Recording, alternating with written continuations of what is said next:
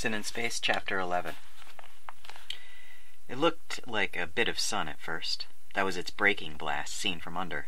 The monster settled swiftly, roaring and flaring in a teasing mathematical progression of successively shorter blasts, more closely spaced. When you could see its silvery bulk and profile, it was going pop pop pop pop pop pop pop like a machine gun.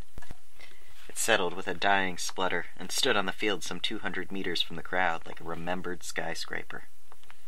Trucks raced out to meet it. Inside, the doctor knew crewmen were walking around capstans that fitted over and unscrewed ten kilogram hex nuts.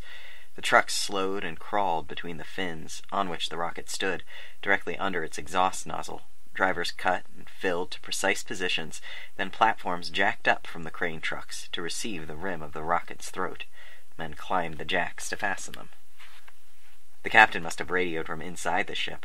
The last of the first hex nuts was off. Motor away. Slowly the platforms descended, taking the reaction engine with them. The crane trucks crawled off, two ants sharing an enormous burden. The crew inside was busy again, dismantling fuel tanks, while the trucks moved to inspection and repair shut off the field. A boom lifted off the motor, and the drivers scuttled back to receive the first installment of the fuel tanks, the second, the third, and the last. Now do the people come out? Asked Tad. If the rocket hasn't got any more plumbing, they do, Tony told him. Yes, here we go. Down between the fins descended a simple elevator, the cargo hoist letting down a swaying railed platform on a cable. It was jammed with people. The waiting port officer waved them toward the administration building. The crowd, which had overflowed gently past the broad white line on the field, drifted that way too. Stanchions! Get stanchions out! the port officer yelled.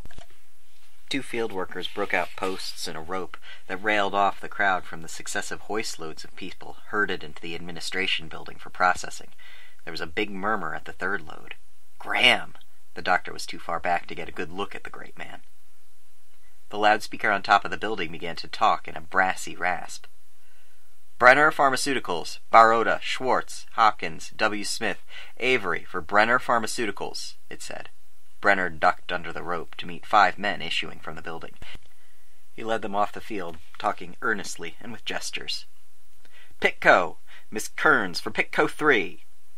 A pretty girl stepped through the door and looked about helplessly. A squat woman strode through the crowd, took the girl by the arm, and led her off.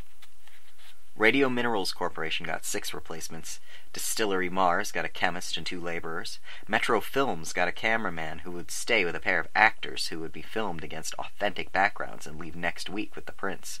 A squad of soldiers, headed by a corporal, appeared, and some of the field workers let out a cheer. They were next for rotation. Brenner got two more men. Kelly's coffee bar got Mrs. Kelly, bulging with bricks of coffee and sugar.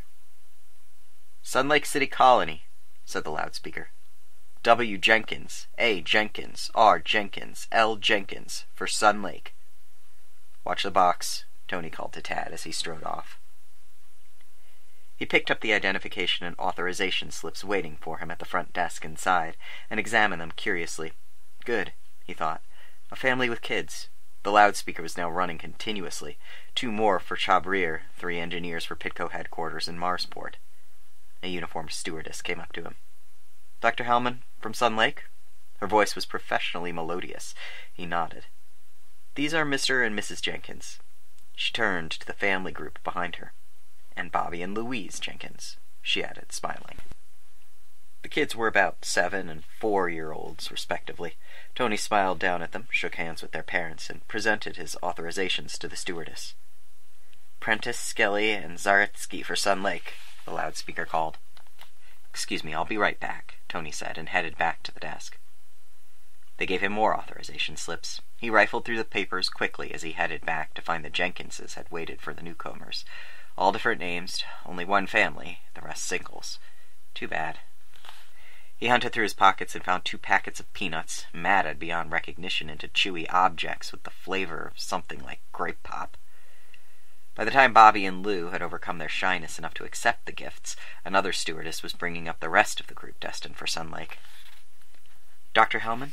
Her voice was as much like the first stewardess as her uniform, but according to ancient custom, this one was blonde and the other a brunette.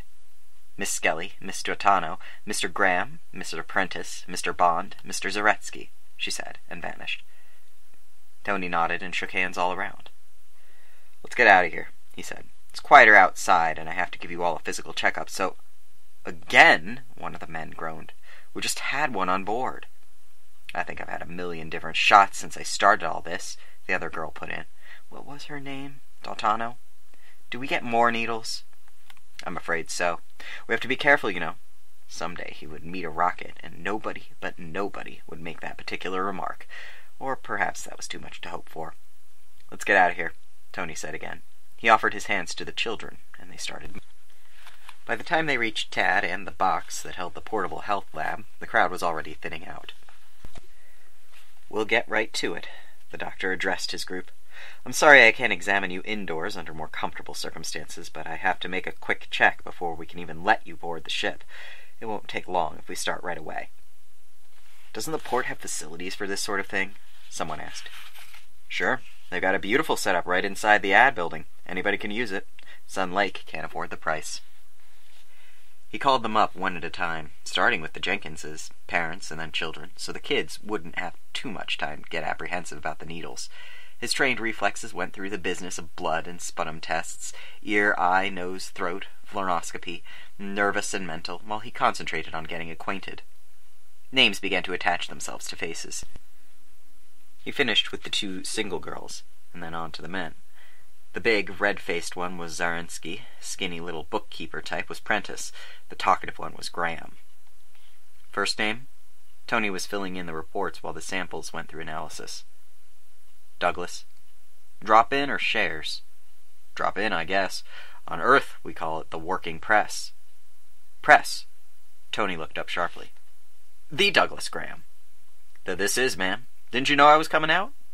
Tony hesitated, and Graham asked quickly, Your place is open to the press, isn't it? Oh, sure. We just, well, frankly, we didn't think you'd bother with us. Certainly didn't think you'd come to us first. We'd have rolled out the red carpet.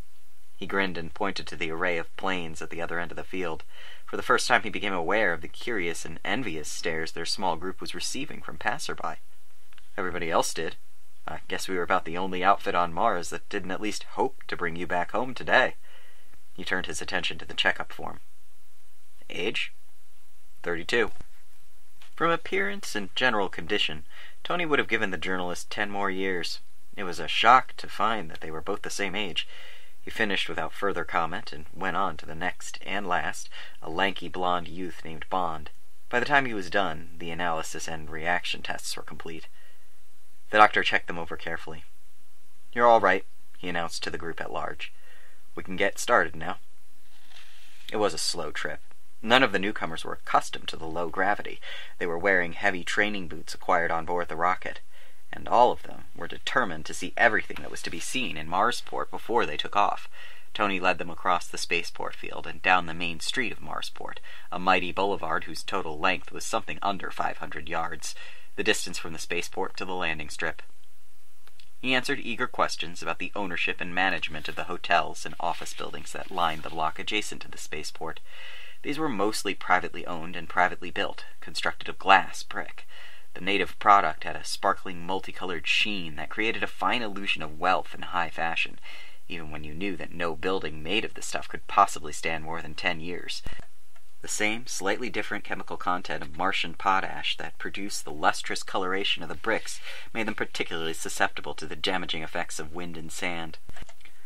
Glass brick construction was by far more costly than the rammed earth buildings at Sun Lake or the scrap shanties that characterized the Pitco camp across the Rimrock Hills from the colony, but it was still much less expensive than the earth import steel and aluminum alloy used wherever strength and durability were important. The administration building of the Planetary Affairs Commission, which occupied one entire side of the center block, was sheathed in a muted green alum alloy. The PAC stores and official PAC hotel across the street were respectively dull rose and dove gray. The doctor pointed out each building in turn to his wide-eyed group. The writer was as eager as any of the others, and asked as many questions. Tony was surprised. He's anticipated a bored sophistication. Graham responded equally unpredictably to the series of interruptions they met with en route. Chabrier was first, even before they'd left the spaceport.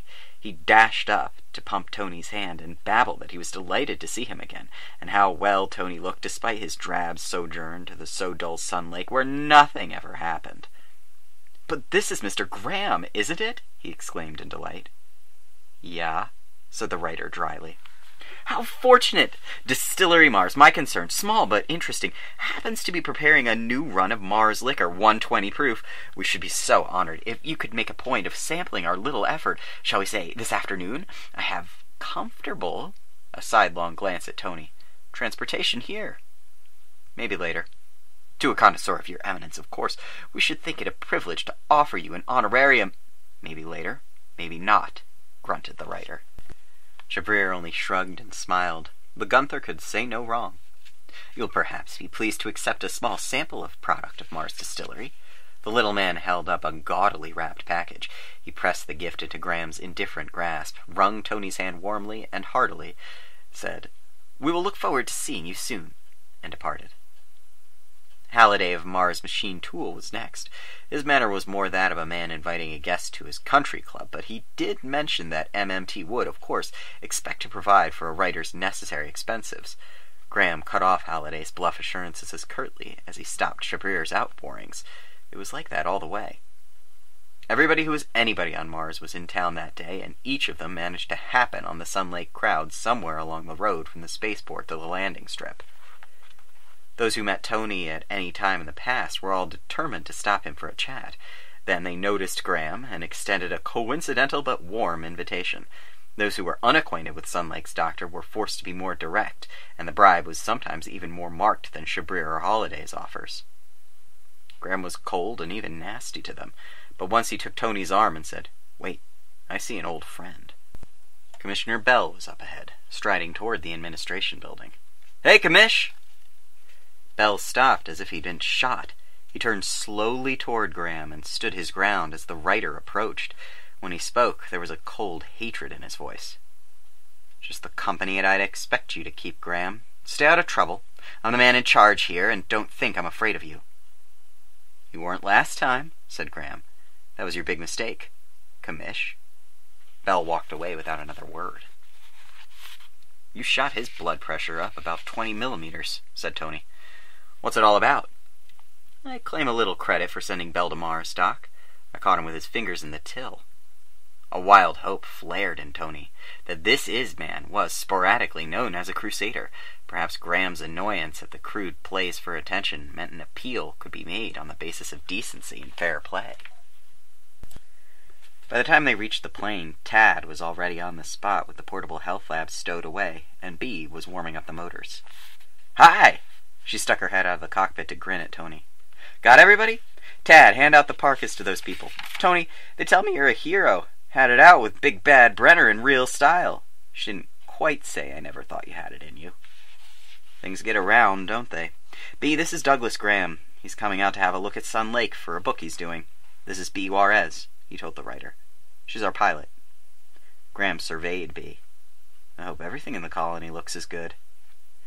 We'll be extra careful to show you only the best, she retorted. Hey, Tad, get that mink-lined parka, will you? We got a guest to impress. Tony was delighted. If everyone else in the colony could take the great man in stride so easily, he would be pleased and very much surprised.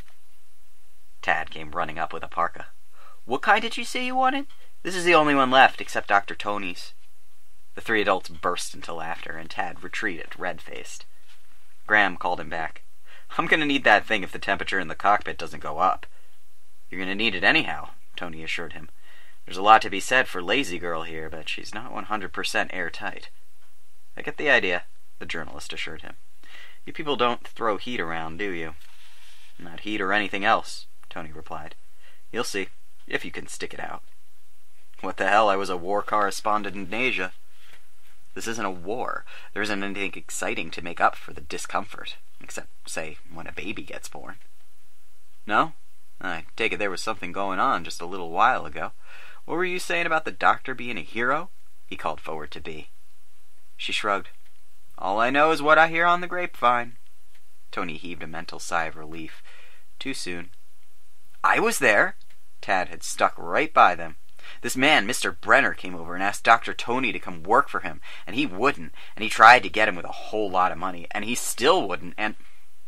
Hold on, Graham interrupted. First thing you have to learn if you're going to be a reporter is to get your pronouns straight. This Brenner was doing the offering, and Doc was refusing. That right? Sure, that was what I was saying. Look, Tad, we were only kidding about impressing Mr. Graham, Tony said quickly. You don't have to make a hero out of me. I just had a disagreement with someone, he said to Graham. And they're trying to make a good story out of it. That's what I'm after, Graham came back. A good story. Tell me everything that happened, Tad. The boy looked doubtfully from the doctor to the guest and back again. All right, Tony gave in. But let's not make a 15 round fight out of it, Tad. Tell it just the way it happened, if you've got to tell it. Just exactly? Yes, the doctor said firmly. Just the way it happened. Okay. Tad was far from disappointed. If anything, he was gleeful. So this Mr. Brenner wanted Tony to come work at his place, curing people from drugs, and he wouldn't. And Mr. Brenner kept pestering him till he got mad, and he said he didn't like him and wouldn't work for him no matter what. I mean, Dr. Tony said that to Mr. Brenner. And Mr. Brenner got real mad and started to swing at him, and... Well, don't stop now, Graham said. Who won? Well, then Mr. Brenner started swinging, and I stuck my foot out and tripped him. And Mr. Chabrier came right over right away and said how wonderful it was the way Dr. Tony had socked Mr. Brenner, and I guess that's what everybody thought.